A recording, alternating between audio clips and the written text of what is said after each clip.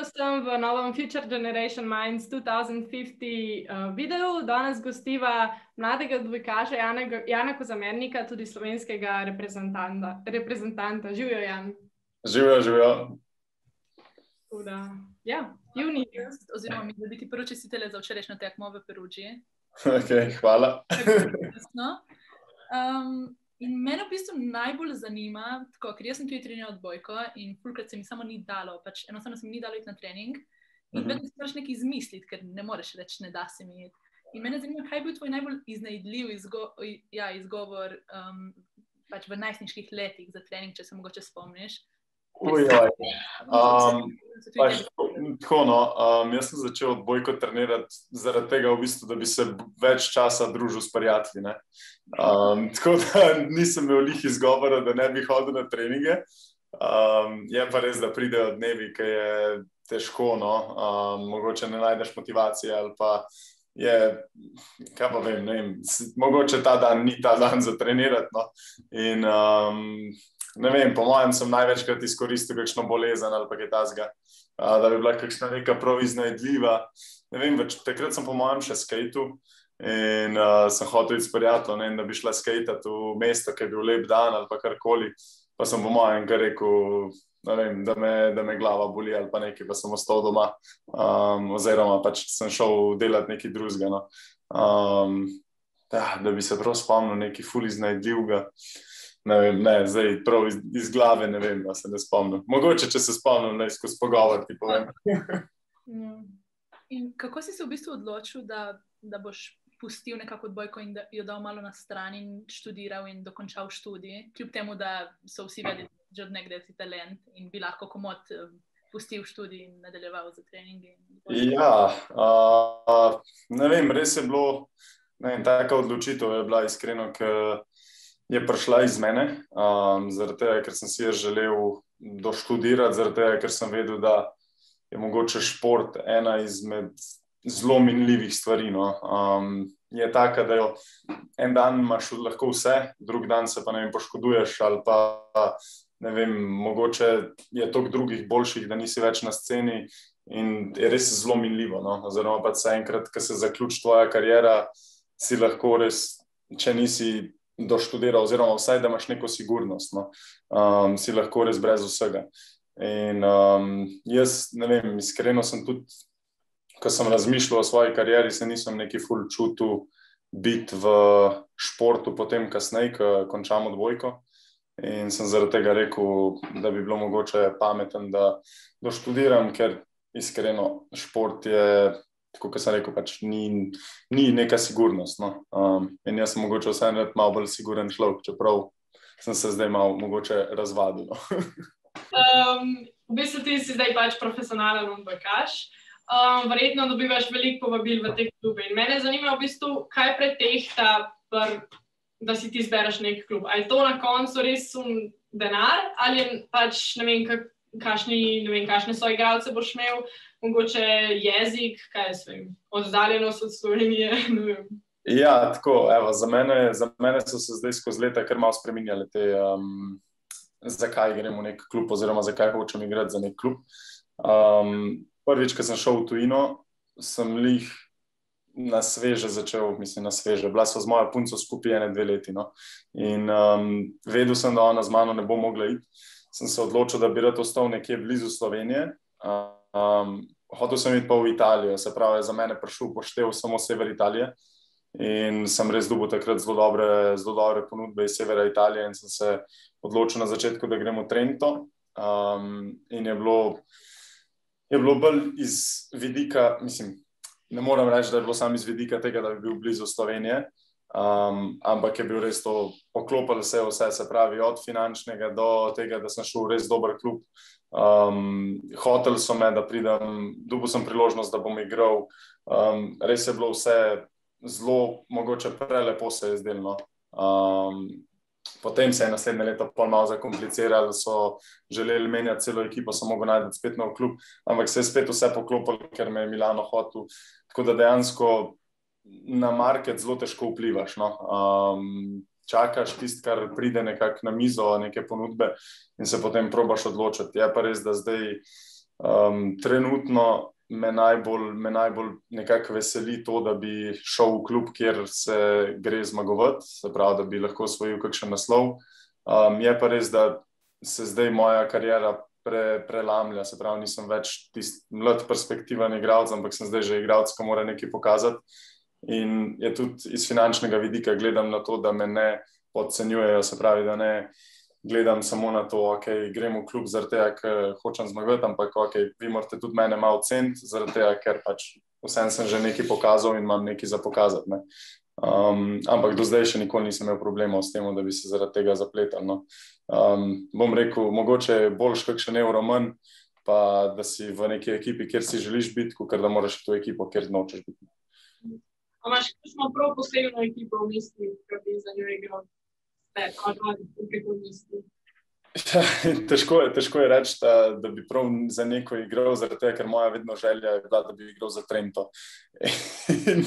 jaz sem prvo pogodbo, ki sem jo dobil, se šel v Trento in um, je, bilo, je bilo kar malo vse prelepo. No.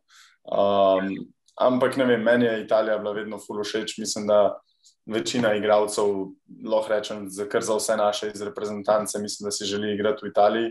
Um, tako da to, to definitivno ni neka, ni neka lahka liga, no, da bi lahko prišel kar vsak v, v njo.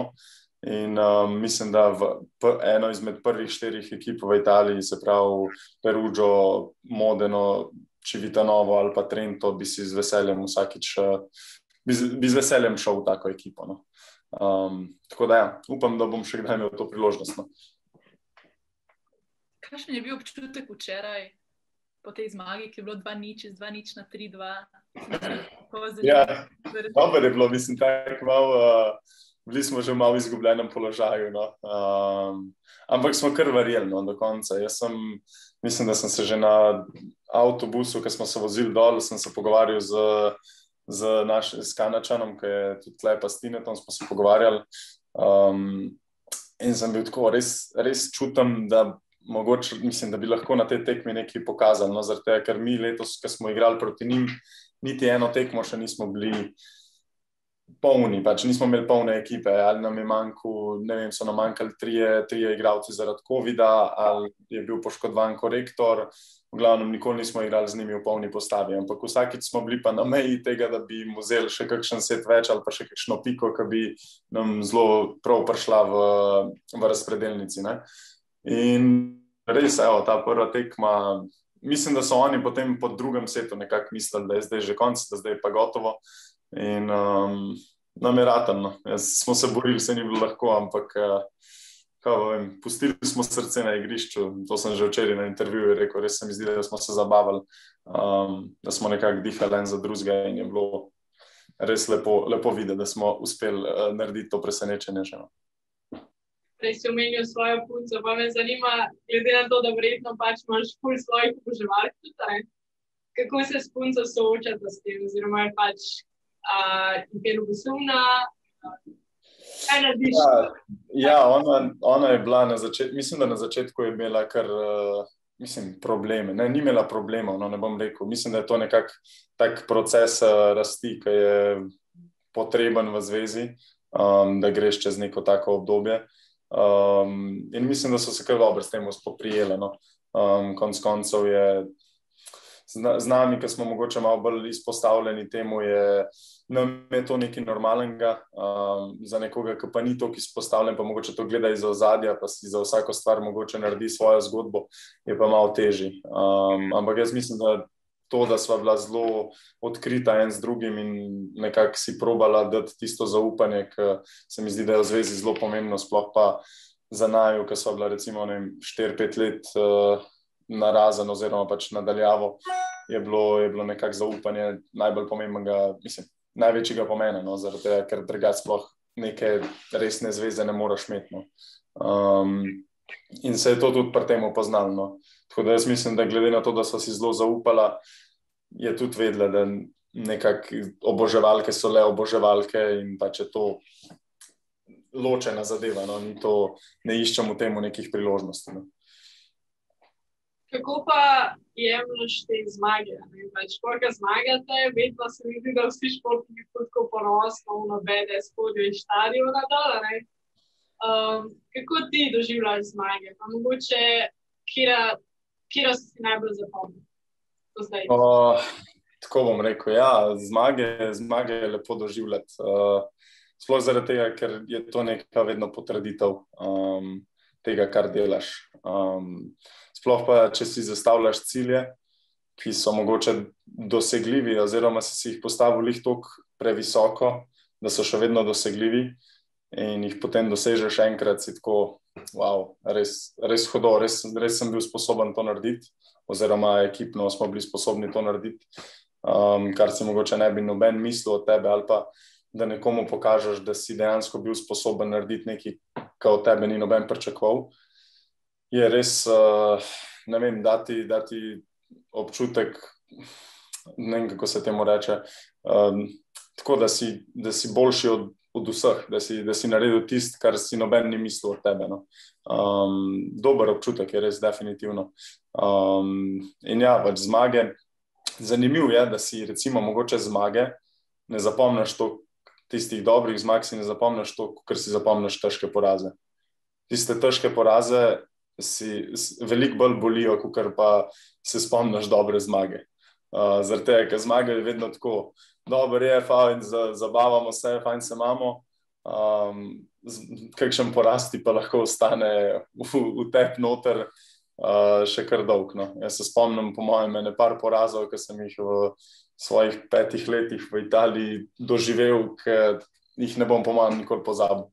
Um, sem, ne vem, ene, enkrat sem bil na tekmi, sem gledal svoje, svoje igralce, ki sem šel jaz ven iz igrišča, smo vodili set, ki je bil za nas odločilen. Ker sem šel pa ven, smo pa izgubili deset pik zapored in izgubili set, in sem bil tako na klopi in sem rekel, kaj se zdaj dogaja, zakaj se je zdaj to zgodilo. In sem bil čist, čist konc. In vem, tako no, je kar ostane v tepno.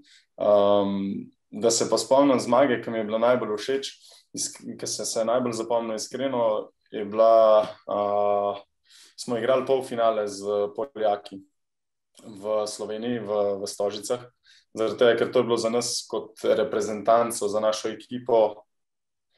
Je bilo to, kar smo si želeli. Um, vem, to je bila naša večna želja, da mi, prvo kot prvo, da napolnimo dvorano v Sloveniji, ker do, zdaj, do takrat nismo še nikoli dobri. Do takrat smo v proti Rusom v četrt finalu, ampak tam tako, da napolnimo dvorano. Igrali smo pol finale, ki je bil za nas izjemno pomemben. Za nas je bil, po mojem, to prej finale, kot kar tisti finale, ki smo ga pol igrali v Parizu. Um, in poleg tega smo še zmagali in igrali tako dobro, čutili tisto energijo publike, ki je. Iskreno, nisem še nikoli to občutil. No. Um, pa smo recimo Poljake premagali dve leti pred tem na Evropskem prvenstvu v njihovi dvorani, pred ne vem, koliko je bilo 15 tisoč gledalcev, polskih, ki so navijali za Polsko, pa smo jih utišali, smo zmagali 3-0, kanačuno, res ubili smo jih. Pa je ta zmaga mi desetkrat več pomen, zato ker je bila pred domačimi gledalci, združili smo Slovenijo in je bilo res, res res, res noro. No. Uh, zdaj, ki govorimo od tega, bi jo šel kar nazaj pogledati. Kako si pa mogoče predstavljaš, bojko, ko upamo, da se bo nazaj spremenil? Kako si jo predstavljaš vem, čez 30 let? Ja, ja, zanimivo. Ne vem, iskreno. Sorry, nisem te razumel, poveš enkrat. V smislu tehnične opreme pa tega kakšno boš predstavljal?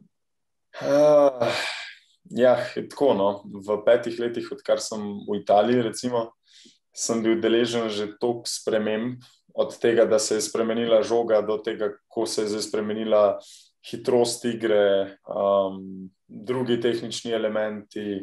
Uh, zdaj je fulbol pomemben servis sprejem, kot je bil mogoče pet let nazaj. Res, res gre v neko zelo fizično v zelo fizičen šport. No. Uh, mogoče tehnika sploh ni več toliko, ne izstopa toliko tehnika več, kot je izstopala mogoče deset ali pa pet let nazaj, ko se je vse skupaj odvijalo malo bolj počasi. Um, pa ne mislim, tem, ne mislim s tem, da mogoče tehnika ni pomembna, ampak fi, uh, fizičnost plus tehnika je veliko bolj cenjena, no? veliko več lahko s tem narediš in definitivno bo šlo v tej smeri tudi naprej. No? Dokler ne bo seveda prišlo do tega, da bo samo fizična odbojka in ko bojo potem spet prihajali tehnični igravci, bojo imeli te spet prednost. Ne? Tako da mogoče bo to nek začaran krok, ne vem, mislim, da še ni toliko uh, stara odbojka. No. Mislim, da je imela zdaj jih 120 let pred časom nekaj tasga. Um, tako da, ja, mislim, da ima še, še kar enega prostora za napredek, definitivno. Um, je pa tako, da mislim, da tudi probajo naši te, um, se pravi, svetovne zveze. Skozi nekaj spremenjati, od pravil do, um, ne vem, mogoče žoge, do um, kakšnih takih mehkih detajlov, ki bi lahko igro naredili še bolj zanimivo za gledalce. In seveda, zdaj, kar je v zadnjih letih nekako bil vzorc, da se odbojka proba narediti čim bolj marketinško zanimiva. Um, čim več dobrih akcij, čim več nekega ropota, um, da se čim bolj zakucavajo igravci. In, in mislim, da bo to tudi uh, probali se čim bolj marketinško izkoristiti in seveda tudi finančno, da bo za mogoče te velike organizacije bolj profitabilno. Ok, ampak kaj pa misliš, da bi upeljali lasersko in digitalno tehnologijo? Pač, naprimer, da sploh ne bi bilo več sodnika, da bi bile mreže, da bi zaznali, če se kdo dotakne, da bi bilo vse črte, da bi zaznavali, če se žoga takne, če je avto ali not. Vse bi bilo digitalno. Ja, definitivno je to napredek. Videl sem zdaj pred kratkim, ne vem, če je bilo, mislim, da je bilo pred pol leta, nekaj tasga, je prišla ven ena ideja, da bi naredili uh, mrežo, uh, ki bi bila v bistvu izled uh, iz ledic. In bi te, sam so to zdaj take, ki so, tako, so v tistih led uh, zaslonih, ki so okrog igrišča, da se ne, da se ne uničijo, če ne vem, jih zadane žoga. Um, in da bi naredili v bistvu kot mrežo, takrat, ker recimo time out ali pa med točko, da bi se gor vrteli oglasi. Zaradi tega, ker mreža je skos na ekranu, ker recimo televizija snema. Um, ITD, ne, tudi eh, te navijači skozi video. In pač, da takrat, ko ni igre, bi bili tam gor oglasi in to. Sam mislim, da to je preveč, je preveč uh, ne vem, lahko rečem, preveč futuristično, pa zelo bi motili. Mogoče igralce pre koncentraciji na naslednjo točko, ker konec koncev, ja, imamo tiste pol minute, recimo med točkami, ampak v tistih pol minute se moraš ti zmeniti toliko enih stvari med sabo, s svojimi igravci, da ne vem, če bi ti dobro vplival na našo igro. No. Um, je pa res, da definitivno je to lahko. Um, konec koncev gre svet zelo v to smer, da bi bilo čim manj potrebnih človeških uh, interakcij oziroma človeške pomoči za neke. Za neke de, za, za službe, ne, se pravi, da bi zamenjali uh, od tega, od robotov do umetne inteligence, da bi čim bolj zamenjali um, to, kar mi delamo, ne, da bi vse skupaj bilo bolj, ja, bolj naravnano k temu, da bi se več zaslužili z čim manj, um, s čim manj, da čim manj plačaš. No. Um, tako da, ja, lahko bi, lahko bi naredili tako, kot si rekla, da bi um, vse avtomatsko zaznavali.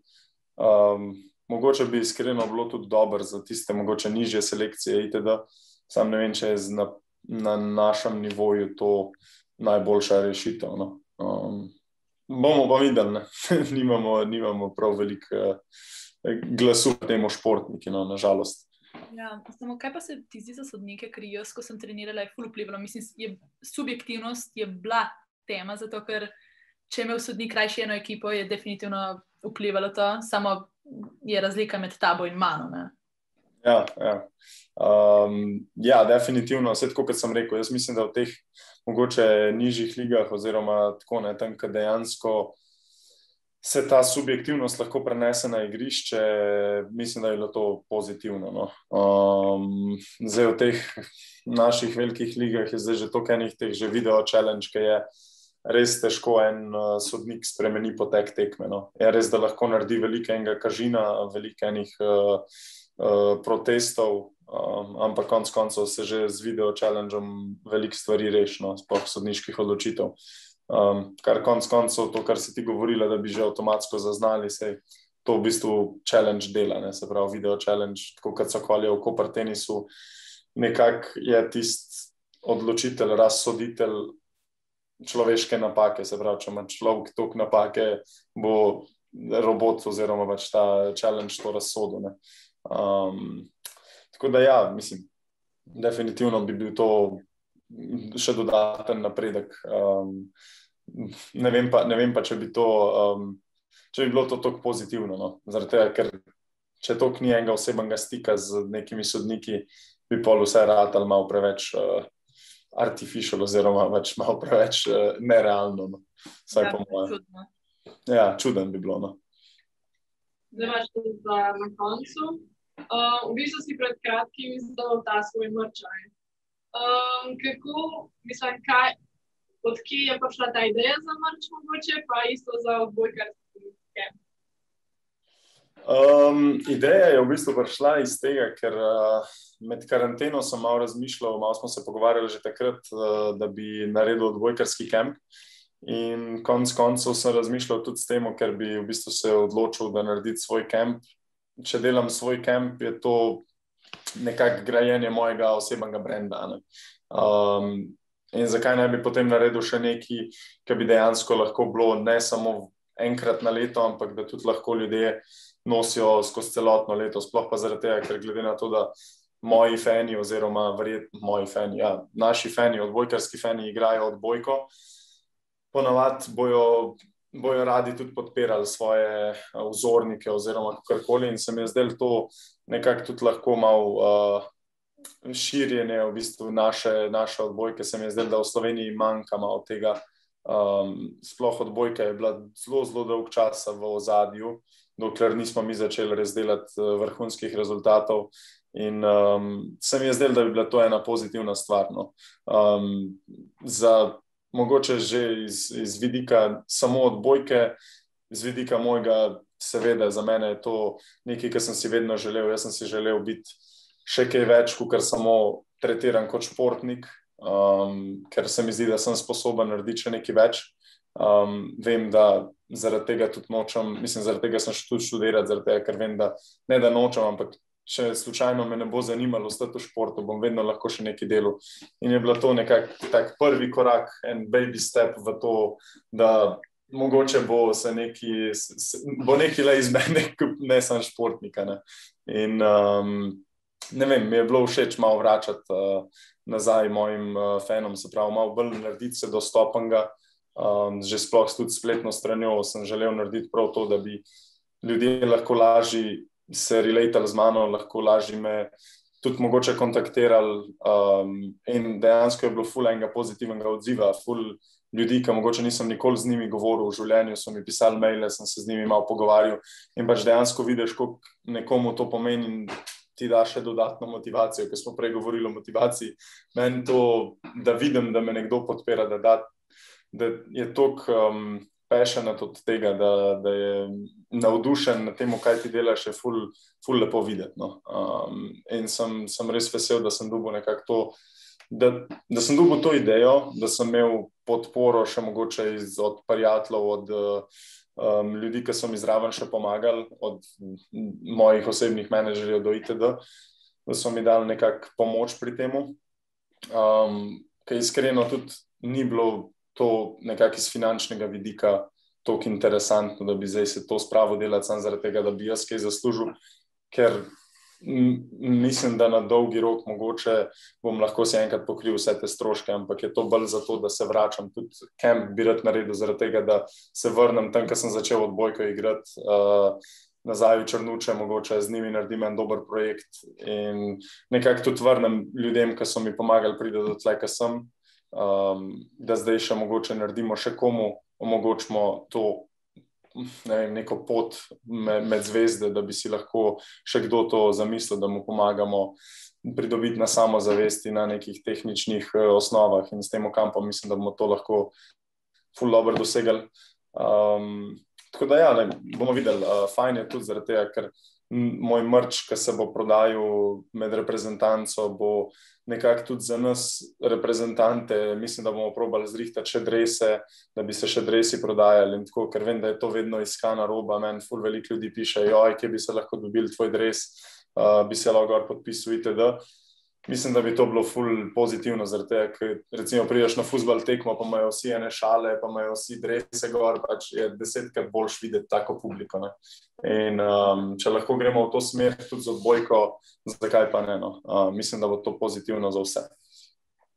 Ja, jaz tudi mislim, da dres je vseeno ful boljše, zato ker imaš en, je en dres, ki ga je nosil takrat in če ja. to dobiš, te, te felpe imajo vsi enake. In, mm, mm itek, da so super, ampak tako vseeno razlika. Ja, ja ne, ne, se štekam, se štekam. Je bilo, je bilo v planu, um, mislim, je še vedno v planu, zdaj čakamo potrditev tega našega generalnega sponzorja še um, za drese, ki nam dela v reprezentanci, da odobri to in uh, potem se bo nekako začel to prodajati. Mislim pa, da plan je tak, da bi se enkrat uh, v času letošnje reprezentance tudi to nekako sprostili, pa da se lahko potem začne prodajati, pa da nekako uh, probamo narediti vse skupaj malo bolj dostopno, zato ker tle so vedno tudi finančni vidiki naših sponzorjev, ki hočejo okay, ne prodajati zdaj pre, prepocen dresov, zaradi tega, ker je to za nas tudi pomemben, da ne znižujete bla, bla, bla, glavno fulene birokracije za brez veze, ker pa hočemo mi sam dobro narediti za vse, uh, da bi naredili za fene čim bolj dostopno vse skupaj, ker konc koncev, če moraš dati 100 evrov za dres, ne vem, koliko ljudi ga bo dejansko kupili, samo zato, da bo prišla enkrat na tekmo. Um, tako da se probam, se probam zdaj s tem malo uh, uh, boriti, no, da bomo naredili vse skupaj čim bolj um, dostopno, no. kar se bo dal, pa je izven mojih rok, nažalost.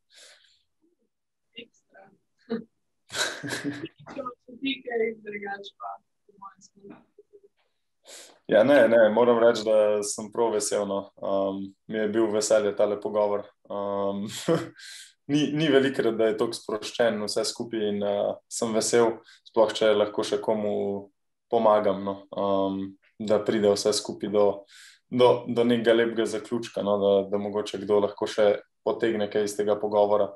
Um, ker, ja, kot sem rekel, ni veliko takih iskrenih pogovorov. No. In um, ja, sem vesel, no, tako da hvala za obilo. Ja, vsem gledalcem pa hvala za ogled, pa se gledamo v naslednjem. Adijo. Ciao.